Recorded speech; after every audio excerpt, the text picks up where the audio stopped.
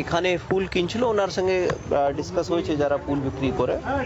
ফুল কেনার পরে, এক মিনিট পরেই আহ, দুজন যেটা আছে একজন গুলি করে তারপরে যারা স্থানীয় লোক আছে তারা আমাদেরকে জানিয়েছে দুজনকে পলাতে এখান থেকে দেখা যায় আমরা কিছু সিসিটিভি ফুটেজ অলরেডি পেয়েছি কিছু সন্দিগ্ধ যারা আছে সাসপেক্ট তাদের আমরা পিকচার্স অলরেডি পেয়ে গেছি আমাদের তল্লাশি অভিযান চলছে কি ওনার যে কি বিজনেস আছে কি প্রফেশন ছিল সেটা আমরা ইনভেস্টিগেশনে জানবো স্থানীয় লোক দুজনকে বলেছে দুজনকে পলাতে দেখেছে তিন থেকে চার রাউন্ড চলতে পারে এটা কেন কি ডিফারেন্ট ডিফারেন্ট ভার্জন আছে বাট তিন থেকে চারটা বলেছে।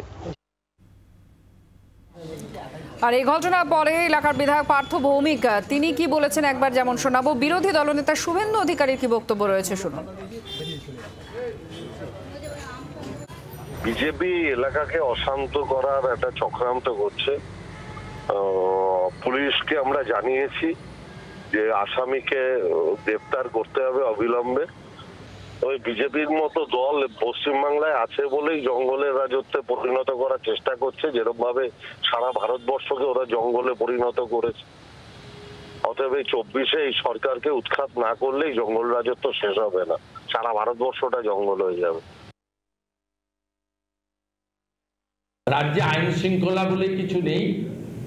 সেই কারণে বেআইনি অস্ত্র বেআইনি বোমা প্রত্যেকের হাতে হাতে ঘুরে বেড়াচ্ছে এবং দুর্ভাগ্যজনক হলে সত্যি যে পশ্চিমবাংলার শাসক দল, তার নেতা বা নেত্রী, মুখ্যমন্ত্রী, তিনি তার পার্টির সমর্থক, কর্মী, নেতাদেরকে পর্যন্ত রক্ষা করতে পারছেন না।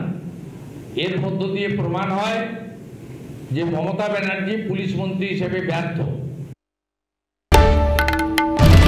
বাংলার আওয়াজ বাঙালির আবেগ। জি চব্বিশ ঘণ্টা।